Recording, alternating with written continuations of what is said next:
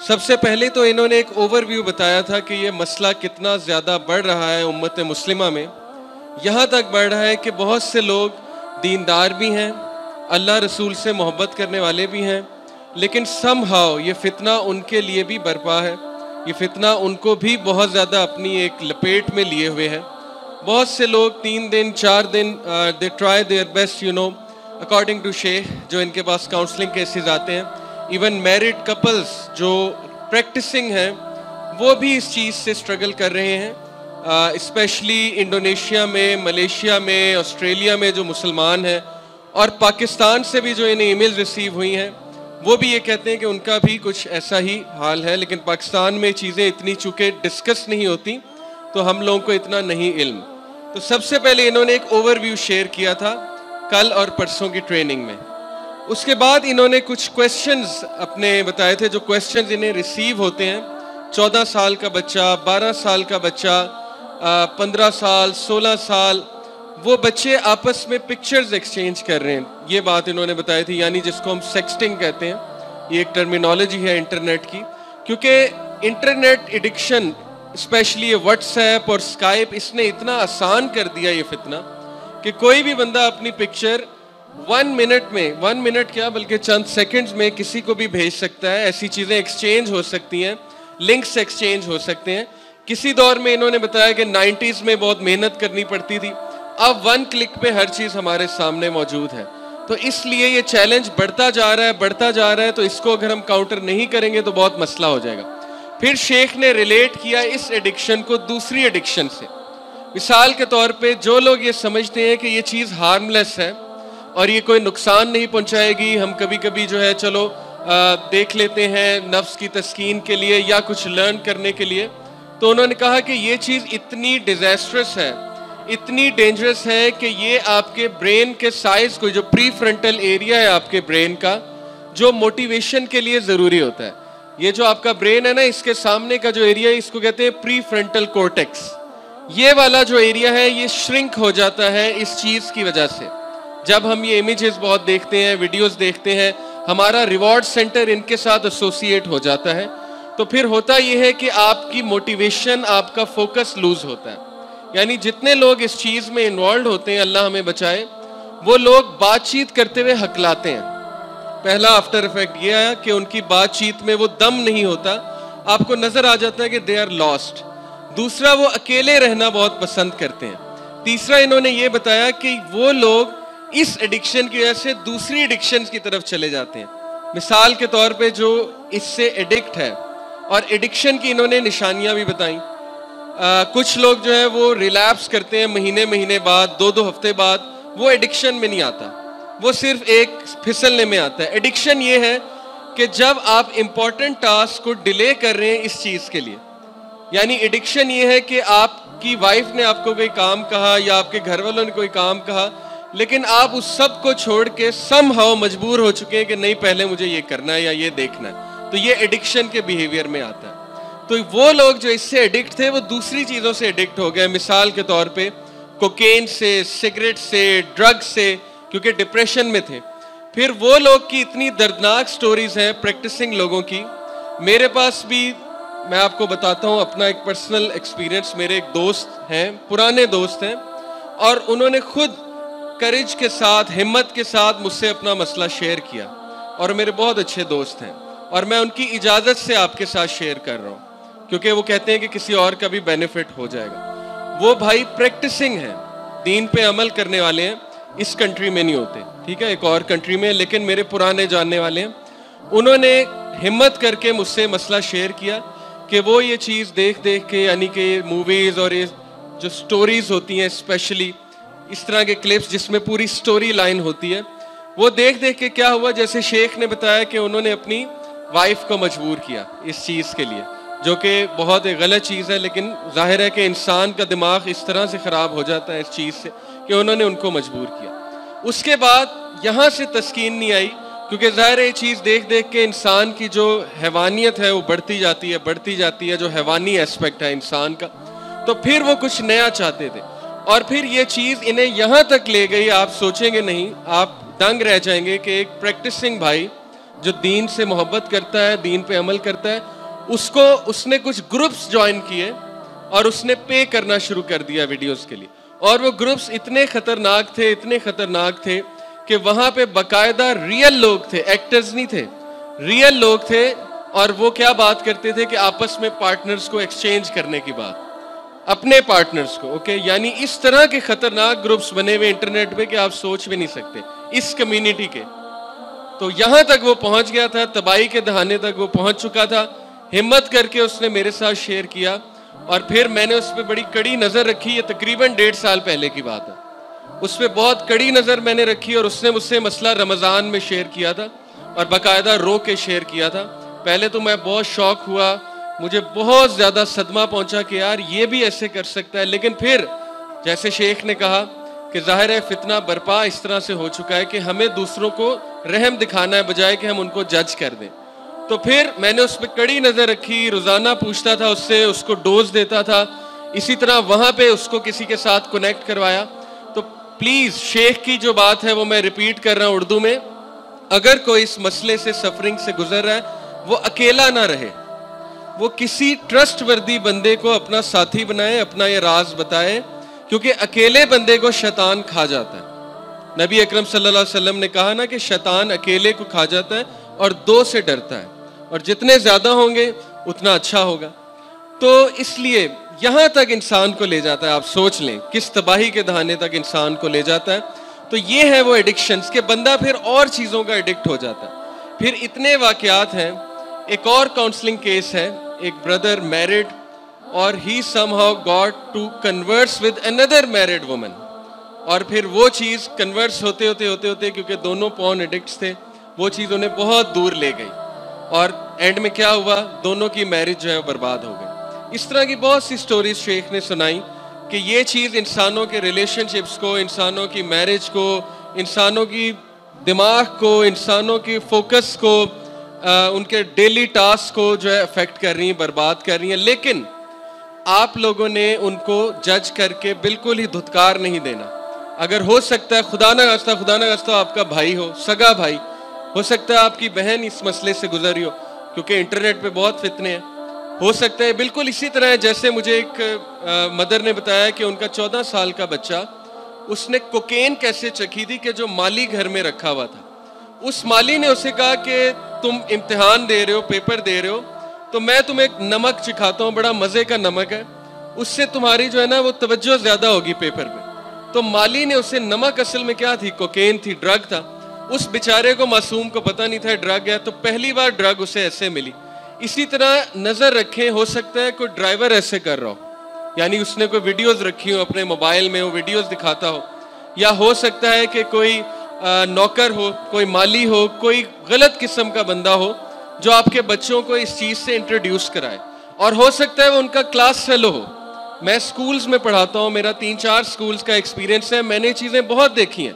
दोस्त आपस में शेयरिंग करते हैं। दोस्त आपस में दिखाते हैं एक दूसरे को, ठीक है? उनके लिए ज़ाहिर है नई चीज़ होती है तो वो कहते हैं कि चलो मैं इसे भी दिखाता हूँ। इस तरह वो एक्सपोज हो सकते हैं आपके बच्चे। तो आपने उन्हें शन नहीं करना, बिल्कुल ही जज नहीं कर देना। आपने उनसे बात करनी है, आपने उन्हें कहते रहना बेटा, अगर कोई मसला है, मुझे बताओ मुझे बताओ, ताकि वो खुले आपके सामने और वो आपको बताए। या आप किसी काउंसलर से बात करें कि, प्लीज़, इससे बात करें एंटी सोशल हो चुका है, इसकी मोटिवेशन ख़त्म हो गई है। यकीन करें, इसी तरह एक फादर ने मुझसे रिक्वेस्ट की कि उनका बेटा बिल्कुल डीमोटिवेटेड है, उसे गुस्सा चढ़ता है, वो किसी से बात नहीं करता, हर वक्त अकेला रहता है तो हमें समझ नहीं आ रही, शायद इसमें जादू हो गया। तो ज़ाहिर है उसमें जादू तो नहीं हुआ था, लेकिन जब मैंने उससे बात की तो पता लगा कि वो भी इस चीज़ का शिकार हो चुका था। तो ये चीज़ उसे एंटी सोशल बना रही थी डीमोटिवेटेड बना रही थी, वो अपनी ज़िंदगी से लड़ना उसने छोड़ दिया था। हार चुका था, हिम्मत वो हार चुका था। इसी तरह चौदह साल के बच्चे की मुझे ईमेल आई कि अली भाई, मेरी सोल शैटर्ड हो चुकी है। यानी मैं थक चुका हूँ, मुझे समझ ही नहीं आ रही कि मैंने क्या करना है और मैं किस तरह इस चीज़ से छुटकारा हासिल करूँ। ये सेंटेंस बहुत कॉमन है. My soul is shattered I am finished okay my life is ending मैंने बड़ी कोशिश की है, लेकिन ये चीज़ ने मुझे जकड़ लिया है, दबा लिया है. मैं क्या करूँ? तो इसलिए सारी जो ओवरव्यू शेख ने बताया, वो मैंने आपके साथ शेयर किया है कि ये अलमिया है हमारी सोसाइटी का और ओवरऑल मुस्लिम वर्ल्ड का, बल्कि तमाम वर्ल्ड्स में. तो पहली बात तो ये. दूसरी बात जो शेख ने शेयर की, वो मैं आपके साथ शेयर करता हूँ कि जो स्टैटिस्टिक्स इन्होंने बताया, वो बड़े अफसोसनाक थे.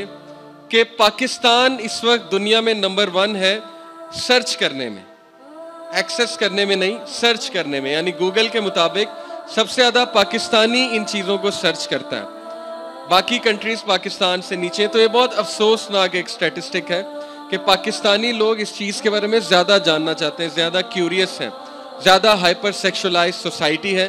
तो ये एक बहुत आई ओपनिंग बात थी मेरे लिए कि पाकिस्तान अगर है तो फिर अल्लाह रहम ही करे। फिर शेख ने जो बताया कि पॉन्ड लीड्स टू जिना, और ये बिल्कुल सच बात है, ऐसा हो नहीं सकता कि इंसान जो चीज़ देख रहा है, वो चीज़ उसे इन्फ्लुएंस ना करे, ऐसा कैसे हो सकता है? और कई स्टोरीज उन्होंने सुनाई कि अच्छा खासा एक बंदा था, इस चीज़ में पढ़ के उसमें वो नाजायज़ ख्वाहिशात पैदा हुई, क्योंकि ये जो पॉन्ड है, इसमें कैटेगरीज होती हैं चीटिंग की, ओके, आप लोग को इल्म होगा जिन्होंने रिसर्च की हुई है कि वो जानबूझ के इस तरह के क्लिप्स बनाते हैं जिनमें चीटिंग होती है, जिसमें इंसेस्ट होता है, जिसमें कैटेगरीज होती हैं जो अल्लाह ने बिल्कुल हराम करार दी हैं। अगर मुझसे आप पूछें तो ये प्रॉपर इल्यूमिनाटी का एजेंडा है और सेटनिस का एजेंडा है कि इन लोगों की रूहें जो है वो ख़त्म कर दो, इन लोगों को दरिंदे बना दो। इन लोगों को इतना खपा दो, इस चीज़ में इतना खपा दो कि हर बंदा जो है परवट बन जाए, दरिंदा बन जाए और हर वक्त उसके जहन पे यही चीज़ सवार हो। हर वक्त उसके जहन पे जो है वो परवट और ये ये सारी चीज़ें जो गंद बला है, ये चीज़ सवार होनी चाहिए। तो ये है असल में अलमिया और ये है सोसाइटी जो इस वक्त जन्म ले चुकी है। अब इसका सोल्यूशन शेख ने क्या बताया? सबसे पहला सोल्यूशन बुनियादी सोल्यूशन कि खुदारा, ये चीज़ आप किसी से शेयर करें, खामोश ना रहें। ये मत समझें कि आप एडिक्ट नहीं हैं। हो सकता है कि आप रिलैप्स करते हो हो सकता है कि बार बार इस चीज़ की ख्वाहिश पैदा हो। तो इससे पहले कि ये मसला इतना बढ़ जाए जैसे मैंने आपको उस भाई की स्टोरी सुनाई है, वो प्रैक्टिसिंग भाई था, और उसने ऐसे ग्रुप्स ज्वाइन कर लिए कि मैं आपको बता नहीं सकता। ज़ाहिर वो पेड मेंबरशिप होती है पे करके। इससे पहले कि इस तरह की होलनाक सिचुएशन आए, अपने आप को इस चीज़ से बचा लीजिए, जितना आप बचा सकते हैं, किसी से शेयर कीजिए। नंबर टू ट्रिगर्स को अवॉइड कीजिए। वो चीज़ जो ट्रिक करती है इसको। ट्रिगर समझते हैं आप लोग? यानी मिसाल के तौर पे आप कमरे में आकर बैठे हैं और जैसे ही आप कमरे में आकर बैठे हैं तो आपको उस मेट्रेस शेख ने कहा मेट्रेस भी ट्रिगर हो सकता है। एक सोफा भी ट्रिगर हो सकता है। क्यों? क्योंकि उस सोफे के उस सोफे के साथ वो बुरी यादें एसोसिएटेड है। या उस कमरे के साथ वो एनर्जी एसोसिएटेड है कि वहाँ पे बैठ के आप गुनाह करते होते थे। तो उधर जाते हुए इज्तनाब करें या पोजीशन चेंज कर दें। उस सोफे को हटा के कहीं और रख दें। बाय द वे सुनना से भी टिप है। नबी अकरम सल्लल्लाहु अलैहि वसल्लम की भी टिप ये है कि अपनी पोजीशंस को चेंज करना चाहिए। क्योंकि एक जगह बैठ बैठ के इंसान की नेगेटिव एनर्जी वहाँ पे आ जाती है तो उस चीज़ को चेंज करें और बिस्मिल्लाह पढ़ें। अल्लाह के नबी वसल्लम ने देखें, क्या कहा कि रात सोने से पहले बिस्मिल्लाह पढ़ो, तीन बार बिस्मिल्लाह पढ़ के बिस्तर को झाड़ो। किस लिए? ताकि नेगेटिव इफ़ेक्ट शयातीन का इफ़ेक्ट ये सारी चीज़ें ज़ायल हो जाए। और तीन बार जो कुल ताउज, वो जो कुल बताएँ, मुआवजतैन कुल और मुआवजतैन कुलाउज भी रबिल फलक कुलाउज भी रबिन नास, ये तीन बार इंसान पढ़े और इस तरह से हाथ बना के जैसे दुआ मांगते हैं, अपने ऊपर जो है वो फूके और उसके बाद ये सब कुछ, यानी कि जो हाथ हैं उसके वो फेरे अपने पूरे जिसम के ऊपर तो बहुत फ़र्क पड़ेगा। और वज़ू में रहे, जो स्पिरिचुअल इन्होंने सोल्यूशन बताया, उसमें वज़ू भी है, कि इंसान वज़ू की स्टेट में रहे और रात को 10 बजे के बाद या 9 बजे के बाद बैन कर दे। ये कि डिवाइसेस नहीं होंगी। क्योंकि अल्टीमेटली डिवाइसेस से ही ये चीज़ होती है। जिसके एक्सेस में डिवाइसेस ज़्यादा हैं, वो इस चीज़ का ज़्यादा शिकार होगा। हम ये एक्सपेक्ट नहीं कर सकते कि हमारा ईमान बहुत ऊँचा है और हम इतने मुतकी हैं कि हम डिवाइसेस भी इस्तेमाल करेंगे यूट्यूब भी इस्तेमाल करेंगे अकेले में और सामने कोई चीज़ अचानक से आ जाएगी पॉपअप हो जाएगी और हम ट्रिगर ट्रिग नहीं होंगे। ऐसा नहीं है। हम सब इंसान हैं, इंसान ही फिसलते हैं। तो इस चीज़ को रियलाइज़ करें और मेहनत करें। अपने लिए रूल्स बनाए कि मैंने 10 बजे के बाद जो है नहीं यूज़ करना, जो मर्ज़ी हो जाए। शुरू में तकलीफ़ होगी, शुरू में ऑकवर्ड लगेगा, ठीक है, शुरू में आपको बहुत रेजिस्टेंस आएगी। लेकिन अगर आपको रेजिस्टेंस आ रही, किसी की मदद ले लें। स्पेशली यहाँ पे अगर कोई हॉस्टलाइट्स बैठे हुए हॉस्टल के स्टूडेंट्स तो वो तो बड़े खुश नसीब हैं।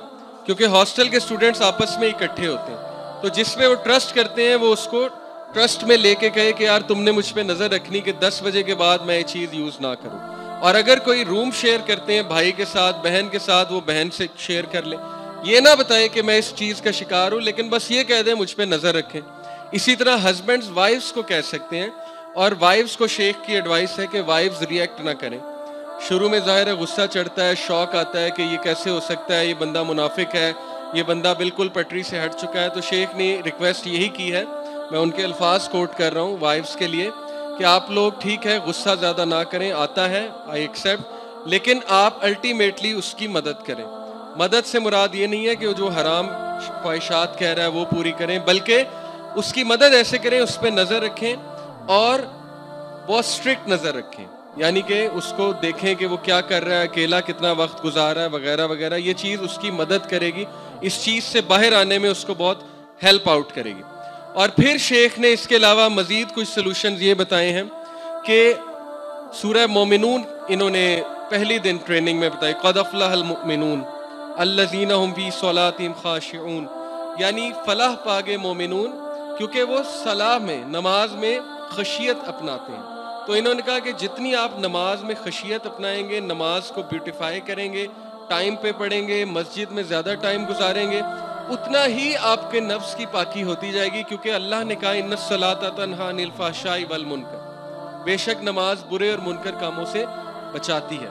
तो बहुत से लोग को मैंने देखा है मतलब मुझसे डिस्कस करते हैं कि उन्होंने मुझे खुद बताया कि उन्होंने अपनी नमाज़ बेहतर की, अपनी नमाज़ में खूबसूरती लाए, मस्जिद में ज़्यादा बैठना शुरू कर दिया, उठे नहीं नमाज़ पढ़ के, ज़िक्र करना शुरू कर दिया, सेल फ़ोन को आहिस्ता आहिस्ता कम करना शुरू किया, स्मार्टफ़ोन को तो उनकी ये चीज़ बहुत इम्प्रूव हुई।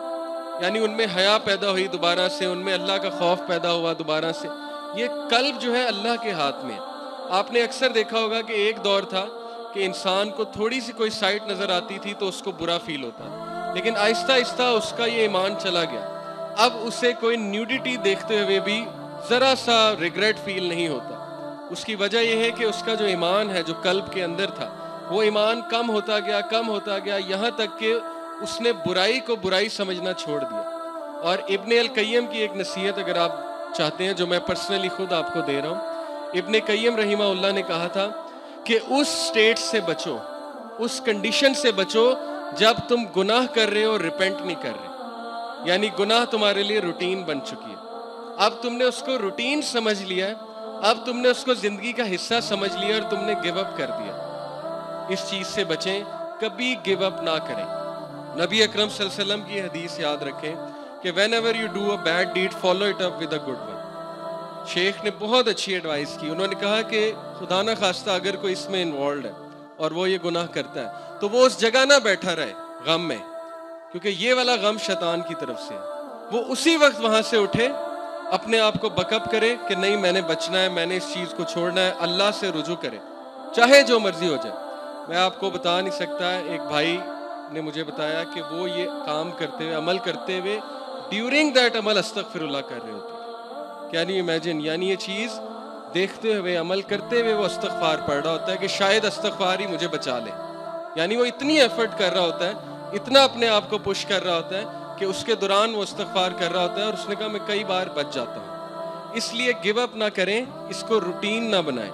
फ़ौरन इस चीज़ को जायल करें, अच्छे काम के साथ। वज़ू करें दो नफल पढ़ लें, या कुरान की तिलावत कर लें, या कुरान सुन लें, लेकिन इसको सेटल ना होने दें इस चीज़ को। फाइट करते रहें करते रहें करते रहें। और फिर शेख ने बहुत अच्छी नसीहत की, बहुत अच्छी प्रैक्टिकल एडवाइस दी।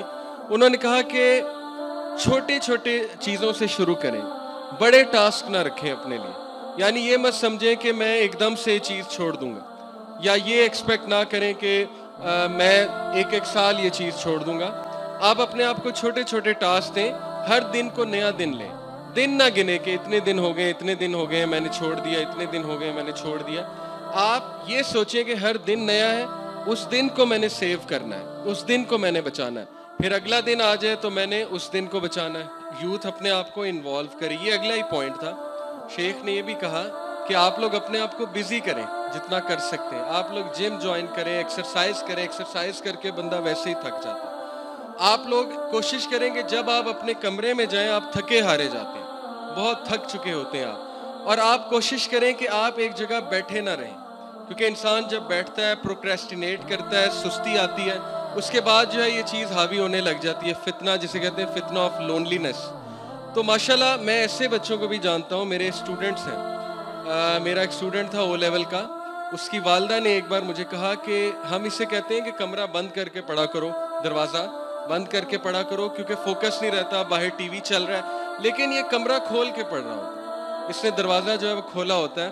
तो ये तो हमारी एडवाइस के ख़िलाफ़ जा रहा है। तो मैंने उस बच्चे से जब बात की तो उसने मुझसे शेयर किया कि, सर, जब मैं दरवाज़ा बंद करता हूँ तो मुझे फितना आता है लोनलीनेस यानी आप उस बच्चे का तकवा चेक करें कि इस एज में ओ लेवल में, वो चाहता है कि मैं इस चीज़ में ना पढ़ूँ।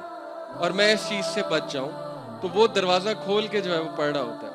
तो अल्लाह ताला भी उन्हीं की मदद करता है जो अपनी मदद आप करते हैं। ऐसा नहीं हो सकता कि आप ट्राई कुछ नहीं कर रहे हो। ऐसा नहीं हो सकता आप नेटफ्लिक्स पे भी बैठे हुए हैं, आप गेम ऑफ़ थ्रोन्स भी देख रहे हैं, आप जो है वो गलीज घटिया टीवी सीरीज़ और हर टीवी सीरीज़ में आपको पता है किस तरह के सीन्स होते हैं आज आप वो भी देख रहे हैं, आप नमाज़ भी पढ़ रहे हैं, आप यूनिवर्सिटीज़ में उन फितनों वाली जगह पे भी जा जा के बैठ रहे हैं। लम्स में मेरे बहुत स्टूडेंट्स हैं, अल्हम्दुलिल्लाह।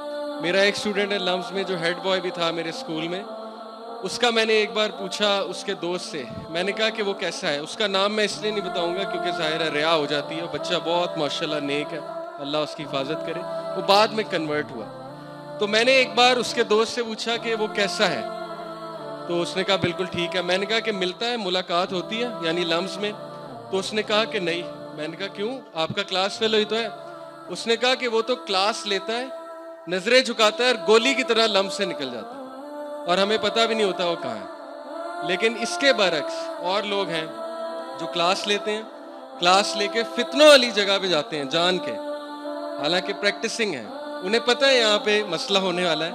लेकिन वो वहाँ पे जाते हैं और फिर जो होता है, एक भी साइट पड़ जाए, ठीक है, किसी भी गलत चीज़ पे पड़ जाए, कोई गलत चीज़ देख लें तो क्या होगा? वट डू यू एक्सपेक्ट तो ऐसा नहीं होना चाहिए कि आप फितने से भी अटैच्ड हैं और नमाज़ों से भी अटैच्ड हैं, क्योंकि इब्ने तैमिया ने कहा कि जो बुराई है और अच्छाई है, ये एक दिल में नहीं रह सकती। या बुराई एक्सपेल कर देगी अच्छाई को, या अच्छाई एक्सपेल कर देगी बुराई को। तो जब आप दोनों जगहों जा रहे हैं और दोनों चीज़ें ले रहे हैं, हजम कर रहे हैं तो फिर एन मुमकिन है कि ये वाली चीज़ शायद अच्छाई को एक्सपेल कर दे, क्योंकि ये बहुत ज़्यादा है।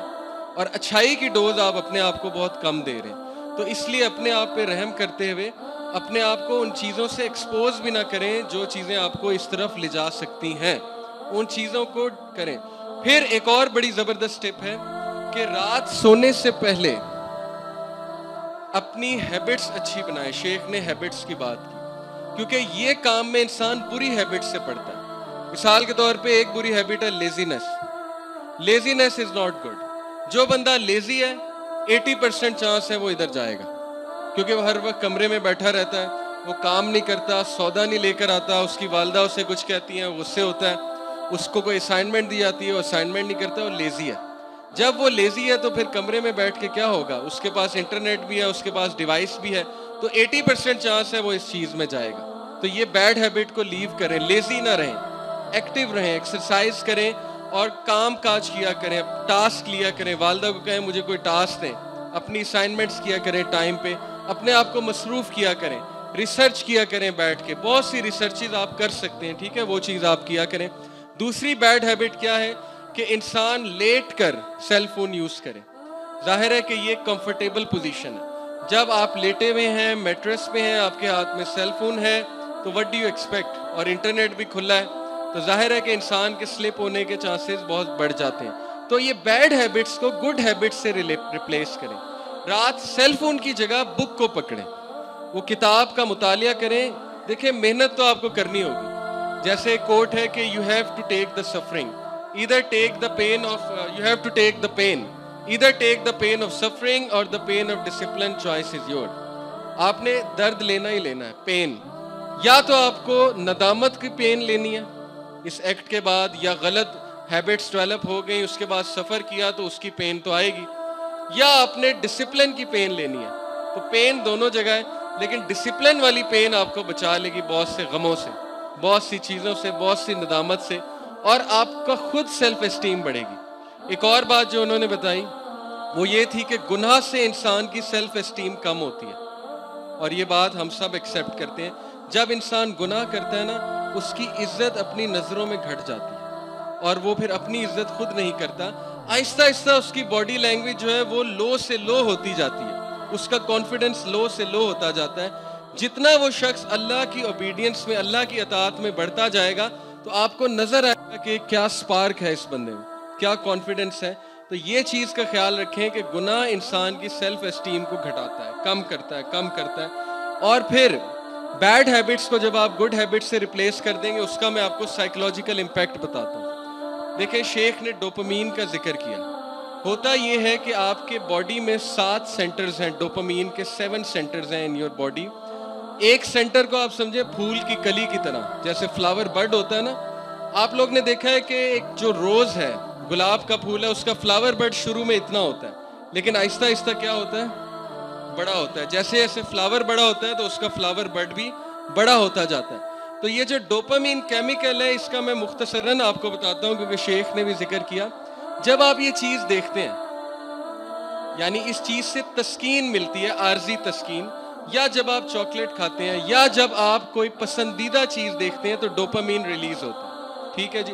अब जब ये चीज़ इंसान देखता देखता है तो डोपामीन रिलीज़ होता जाता है, होता जाता है, होता जाता है। तो क्या होता है कि वो फ्लावर बर्ड वो जो कली है जिसको मैं कहूँगा डोपामीन सेंटर वो बढ़ता जाता है, बढ़ता जाता है, बढ़ता जाता है, इतना हो जाता है, और बढ़ जाता है। अब उसको वही डोपामीन चाहिए, जितना वो बड़ा हो चुका है। आप समझ रहे हैं मेरा पॉइंट अब चूँकि उसे इतना ज़्यादा डोपामीन चाहिए तो वो जब भी उसे वो डोपामीन नहीं मिलेगा तो वो इरिटेटेड फील करेगा फ्रस्ट्रेटेड फील करेगा, उसकी रोने वाली हालत हो जाएगी, और वो अजीब व गरीब हरकतें करने लगेगा। अपना फेस को स्क्रैच करने लगेगा इरिटेटेड हो जाएगा, बेचैन हो जाएगा कि नहीं, मुझे बस चाहिए। क्योंकि उसकी बॉडी डिमांड कर रही है। इसलिए जिसके डोपामीन इतने बड़े बड़े हो चुके हैं ये चीज़ देख देख के तो बार बार ये चीज़ उसे मजबूर करती है कि करो करो, मुझे डोपामीन चाहिए, मुझे डोपामीन चाहिए। इसका काउंटर क्या है? इसका काउंटर एक्सरसाइज है। एक्सरसाइज से ऑक्सीटोसिन रिलीज़ होता है। इसका काउंटर क्या है? गार्डनिंग आप अपने टाइम प्रोडक्टिव टाइम में नेचर को देखें अपनी आँखों से। कोई पौधा लगाएँ, उस पौधे को रोज़ाना पानी दें ऑक्सीटोसिन निकलेगा। इसका हल क्या है? एक ऐसी ऑर्गेनाइजेशन तंजीम के साथ जुड़ जाए, जो लोगों की खिदमत कर रही है। आप उनके साथ मिलकर लोगों की खिदमत करें, उससे क्या रिलीज़ होगा? ऑक्सीटोसिन ऑक्सीटोसिन याद रखें डोपामीन को काउंटर करता है और डोप सेंटर्स को कम करेगा। जब आपके डोप सेंटर्स कम हो जाएँगे, दोबारा साइज़ में छोटे हो जाएँगे तो आपके लिए चीज़ बायोलॉजिकली और फिजिकली छोड़ना भी आसान हो जाएगी। तो हमने इस चीज़ को हर एंगल से देखना हमने इसको साइकोलॉजिकल एंगल से स्पिरिचुअल एंगल से और केमिकल एंगल से डोपामीन और ऑक्सीटोसिन से। और लास्ट पॉइंट जो उन्होंने बताया डाइट डाइट बहुत ज़रूरी है। बहुत सी खुराक ऐसी है जो इंसान की ख्वाहिश को बढ़ाती है डिज़ायर्स को बढ़ाती है।